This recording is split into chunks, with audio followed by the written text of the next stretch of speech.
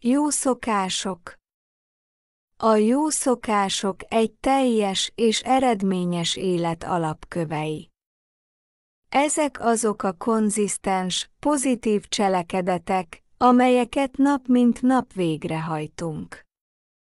Legyen az korán kelés, rendszerezett életvitel, vagy időt szánni a testmozgásra, mindezek segítenek fejlődni és javulni az idő múlásával.